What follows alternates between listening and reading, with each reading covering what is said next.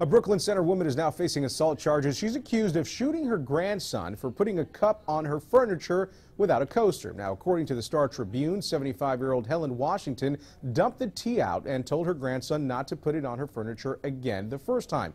When he went back, got another cup of tea and put it on the furniture again, that's when she pulled out a gun and shot him in the thigh. According to the report, Washington says she doesn't think she deserves to go to jail. She's been released from Hennepin County Jail but is expected to make a court appearance in December. I'm Ken Molestina for WCCO 4 News.